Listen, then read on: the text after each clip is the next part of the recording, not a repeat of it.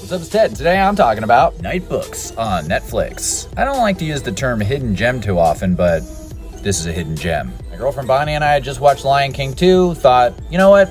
It's early, let's make it a double feature, and threw this on on Netflix, just looking at Krysten Ritter, Sam Raimi produced, and it kind of looks like the Pagemaster. Let's give it a shot. Maybe it'll suck. And it was actually delightful. It's really just a three person cast, and there are times when I'm kind of thinking, okay, where's this going?